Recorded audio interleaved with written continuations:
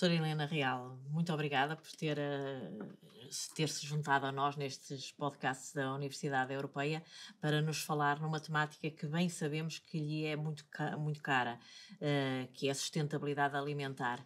De facto, a professora Helena Real tem trabalhado e investigado muito ao longo dos últimos anos em sustentabilidade alimentar, é nutricionista, doutorada uh, nesta grande área, com a tese de doutoramento na área da dieta mediterrânica e com várias várias, várias investigação e vários artigos publicados nesta, nesta área. Também gostava de referenciar que é nutricionista especialista em nutrição comunitária e saúde pública, portanto, um foco sempre muito grande na saúde pública através da, da alimentação. E, portanto, daí termos eh, endereçado este convite para nos falar um pouco de sustentabilidade alimentar e gostava muito de lhe perguntar porquê, porquê pensarmos em sustentabilidade alimentar nos dias de hoje. Muito bem. Antes de mais, muito obrigada pelo convite. É um gosto cá estar e poder realmente falar desta área que me diz muito. Porque é falar de sustentabilidade alimentar. De facto, hum, eu diria quase que é eh, importante pensarmos isto num contexto quase de sobrevivência. Isto porquê? Porque estamos a falar, se pensarmos no contexto genérico e mais global da sustentabilidade em si, estamos num contexto em que se vive e se sente as alterações climáticas, uh, em que realmente temos um planeta que, que está a ter uma pouca poupança dos seus recursos naturais e estamos numa fase em que a população está em grande crescimento. E, portanto, neste sentido, temos que uh, olhar para tudo isto e ver se temos condições de termos um planeta que se mantenha com as mesmas, pelo menos com as mesmas condições que temos agora para as gerações futuras. Quando olhamos para isto tudo, um, vemos que a alimentação tem aqui um impacto uh, considerável, ou seja, mais ou menos 30% das emissões de gases com efeito de estufa, uh, por exemplo, provém daquilo que é uh, a alimentação diretamente, portanto, aquilo que circula à volta da alimentação. E, portanto, pensarmos em sustentabilidade alimentar é isto mesmo, é olharmos e vermos de que forma é que conseguimos realmente mitigar estas alterações, fazer com que o planeta seja mais uh, sustentável, do ponto de vista ambiental, do ponto de vista social, do ponto de vista económico, Exatamente. mas que nos permita realmente garantir que as próximas gerações terão pelo menos aquilo que nós temos agora. Exatamente. Mas diga uma coisa, é fácil, é fácil uh, nos dias de hoje para um consumidor fazer escolhas alimentares que sejam mais sustentáveis? É fácil ter noção dos grandes chavões, ou seja, como é que eu posso ser mais sustentável? Tenho que comer mais alimentos de origem vegetal, tenho que olhar para os produtos hortícolas, para a fruta, para as leguminosas, para os frutos oleaginosos eh, e tenho que ter uma maior fatia de alimentos dessa, desses grandes grupos. E ter aqui uma pequena fatia uh, dos alimentos de origem animal não é eliminar, até porque nós estamos aqui a falar sempre de um, de um tema que muitas vezes é propenso a muitos radicalismos. Sem dúvida, sem dúvida. E é importante isto, olharmos para a questão do ecossistema que também temos que manter, eh, mas de facto temos que equilibrar eh, aquilo que são as porções que, que comemos e as grandes proporções dos grupos alimentares. A verdade é que se nós fizermos isto, pelo menos esta grande uh, escolha de proporções, estamos, de uma forma genérica, a ser mais sustentável. Agora, quando chegamos ao ponto de venda, conseguimos de facto fazer uma escolha mais apurada do ponto de vista da sustentabilidade? É difícil. Eu posso escolher realmente mais alimentos de origem vegetal, menos de origem animal, mas depois tenho que perceber coisas importantes como como é que esses produtos foram produzidos? Foram produzidos de forma sustentável ou menos sustentável? E aí eu tenho ainda poucas ferramentas que me permitem fazer essa escolha não de forma consciente. Informação suficiente em que o consumidor consiga perceber eh, quais são essas escolhas rapidamente, ou pelo menos uh, menos rapidamente, mas conseguir perceber. Exatamente. Ou seja, eu depois tenho que jogar aqui com outras coisas, nomeadamente a origem do produto. Uh, eventualmente, os mais próximos têm aqui uma pegada inferior, mas nós sabemos, por exemplo, que aquilo que é o impacto da produção é muito mais considerável do que o transporte. Até porque eu posso realmente estar a falar uh, de um transporte que é longo, mas a produção na base desse alimento foi de facto mais sustentável comparativamente a um que foi mais produzido na minha proximidade, mas eventualmente de forma muito mais uh, insustentável. Uhum. E eu tenho poucas ferramentas que me ajudam a fazer essa escolha mais consciente. Um, E depois, por outro lado, tenho que pensar naquilo que é a embalagem. Eu posso pensar numa matéria-prima produzida de forma muito sustentável, mas que depois venha envolvida de uma grande quantidade de plástico, por exemplo, ou de vários materiais, plástico, papel, eh, materiais que nem sequer são recicláveis, por exemplo, e portanto obriga-me a quê? A chegar ao ponto de venda com tempo, e ter que uhum. fazer escolhas conscientes e olhar para muitos aspectos. É? E nem sempre tenho essa possibilidade. No fundo, é quase a sustentabilidade farm to fork. É. É? É, Portanto, exatamente. toda a cadeia, desde a produção, a distribuição e questões como a embalagem, uh, têm que ser levadas em linha de conta para depois a sustentabilidade alimentar, sem colocar de parte a atitude do consumidor e essa lógica mais vegetal, menos animal, sem uh, o fundamentalismo de excluir alimentos de produtos, uh, produtos alimentares de origem animal. Mas o, o consumidor está verdadeiramente sensibilizado para esta temática da sustentabilidade alimentar, porque efetivamente nós temos aqui duas questões que são importantes: a sensibilização para a temática e depois a compreensão da temática para poder agir de forma mais sustentável na escolha, no momento da escolha alimentar e no momento do consumo alimentar. A verdade é que nós hoje em dia temos muitos consumidores diferentes, não é? muitos tipos de consumidores. Há uns anos atrás era muito fácil segmentar os consumidores um, e perceber exatamente o que é que cada consumidor pensava e o que, é que, o que é que pretendia. Hoje em dia é muito mais difícil. Nós muitas vezes olhamos para aquilo que são as gerações, as gerações e a sensibilidade uh, ou a abertura para determinados temas por, por parte de algumas gerações. Fala-se muito na geração Z, os mais jovens, que realmente é a eh, chamada geração da sustentabilidade. São aqueles que estão mais voltados para estas matérias, mais sensíveis, valorizam, procuram mais informação sobre isso. E outra coisa importante, exigem que as próprias marcas sejam sustentáveis. Uh, ou seja, os estudos de mercado atuais mostram que realmente o consumidor quer ser mais sustentável, mas põe o ónus do lado da marca. A marca já tem que ser sustentável. Se não tiver preocupações em ser sustentável, eu não quero aquela marca. É, é interessantíssimo. Uh, o que faz com que muitas vezes esse consumidor tenha esta vontade, esta sensibilidade, mas também não tenha literacia suficiente para perceber até que ponto aquilo que lhe está a ser comunicado é suficiente ou não para fazer uma escolha mais sustentável.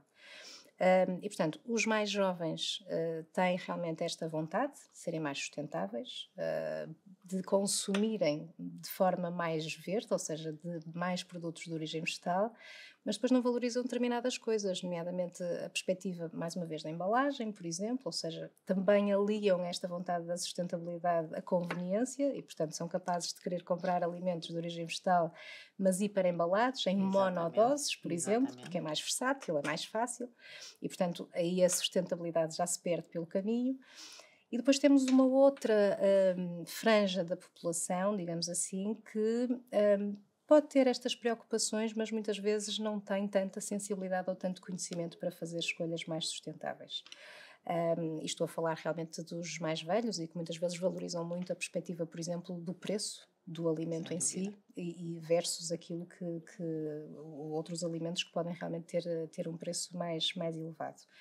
E, portanto, temos aqui um, vários tipos de consumidores e que realmente devem ser trabalhados um, especificamente tendo em conta aquilo que também são as suas sensibilidades para estas matérias, sem dúvida. É? E pode-nos dar algumas pistas de como é que podemos trabalhar esse mesmo consumidor para que de facto tenha instrumentos para poder ter escolhas mais, mais sustentáveis e já agora também qual é o papel que o nutricionista pode ter nesta, nesta questão, porque de facto são matérias que são muito, muito, muito caras, muito importantes para os nutricionistas e, portanto, de que forma é que nós, nutricionistas, podemos auxiliar para que de facto todos nós possamos ter consumos alimentares que sejam mais sustentáveis? Então vou começar pela segunda e depois já vou à, à primeira pergunta. Para começar, é importante que realmente o nutricionista reconheça que esta matéria é uma matéria totalmente transversal a qualquer hum. área de atuação do nutricionista. Eu partiria por aí. Porque, de facto, hum, quando pensamos em trabalhar a população sobre estas matérias, rapidamente, se calhar, pensamos na área da nutrição comunitária. Né? Ou seja, como é que vamos uhum. trabalhar os grandes grupos e que ferramentas vamos usar para passar esta, esta mensagem. Um, contudo, hum, não podemos, por exemplo, negligenciar aquilo que é a importância de um nutricionista clínico que exerce nutrição clínica pode ter na passagem individual de informação sobre sustentabilidade alimentar, ou seja, dúvida. os planos alimentares que prepara devem ser pensados também sob o ponto de vista da sustentabilidade alimentar, até porque sabemos que o grande tema da sustentabilidade alimentar abarca uma alimentação que por si só já é saudável, porque uhum. realmente temos que garantir aqui a, a, também a saúde da população em si. Um, e, portanto, os próprios planos devem pensar, devem pensar neste aspecto. Uh, quando eu prescrevo um plano, penso na sazonalidade, penso nos produtos que são produzidos na minha proximidade, falo no contexto da produção sustentável, uh, induzo a este tipo de, de procura de informação. Um, dou estas pistas ou simplesmente estou a pensar na perspectiva do nutriente, do resultado final exatamente, do consumo exatamente. alimentar? E, portanto, esta hum, passagem de informação sobre a história do alimento é fundamental e é transversal, não só a esta área, como espaço da consulta de nutrição também poderá ser um espaço para esse efeito. Sem dúvida, sem dúvida. Conversar também nesse sentido e chamar também aqui a atenção a um aspecto que eu diria que é provavelmente um dos mais problemáticos no contexto, no contexto da sustentabilidade alimentar, que é o desperdício alimentar. Aliás, curiosamente, eh, eu no início falava desta, deste peso dos 30% que, que a alimentação tem em contexto de emissões de gases de efeito de estufa, pois esta questão do desperdício alimentar tem também aqui um impacto enorme em termos de emissão de gases de efeito de estufa, nomeadamente metano, quando se fala naquilo que é a gestão do desperdício alimentar. Já para não falar em todas as emissões que ocorreram, desde, desde a produção, à transformação, Exatamente. ao transporte daquele alimento que no fim foi desperdiçado. É? E, portanto, um, há dados que estimam que nós conseguiríamos, cada pessoa conseguiria reduzir 6 a 8% destas emissões individuais de gases de efeito de estufa, nomeadamente metano, se desperdiçasse muito pouco ou não desperdiçasse alimentos.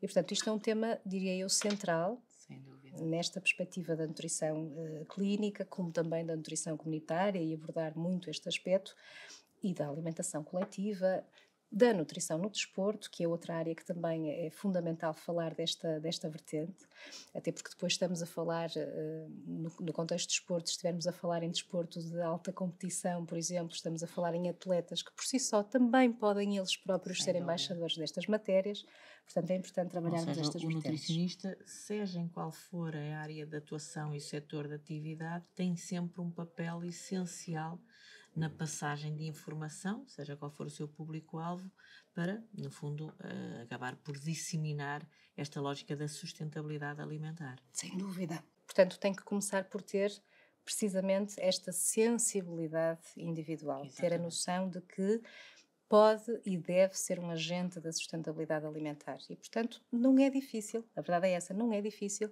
incluir este tema em qualquer área de atuação. E, portanto, vamos agora à primeira pergunta que fez, às ferramentas, Isso não é? Mesmo. Como é que Isso olhamos mesmo. para isto?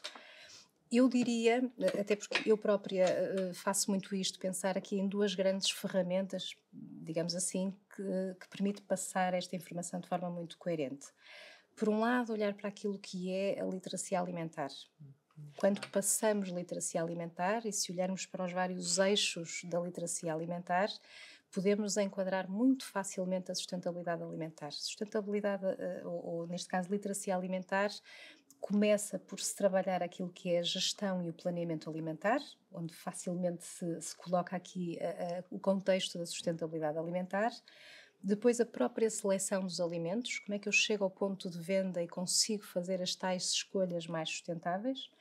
Depois o contexto da preparação, como é que eu chego a casa e preparo os meus alimentos, e aqui entra muito a perspectiva do uso integral dos alimentos, da redução do desperdício alimentar, uma versatilidade maior naquilo que é um, a própria preparação e confecção dos alimentos, e depois o que é o consumo, como é que eu consigo ter um consumo mais sustentável. E, portanto, se eu andar à volta destes quatro eixos da literacia alimentar, consigo perfeitamente enquadrar o contexto da sustentabilidade alimentar, desde o momento em que eu penso a minha alimentação até ao momento em que eu efetivamente consumo o alimento.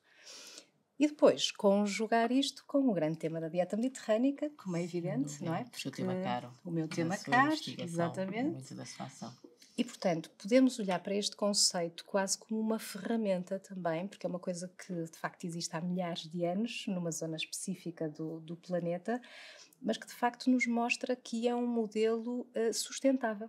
Aliás, a própria evidência científica assim o, o demonstra, como é que numa simplicidade tal que é o que caracteriza principalmente este conceito, conseguimos realmente ser mais sustentáveis. E aqui, mais uma vez, para facilitar uh, os conceitos, olhamos para os pilares.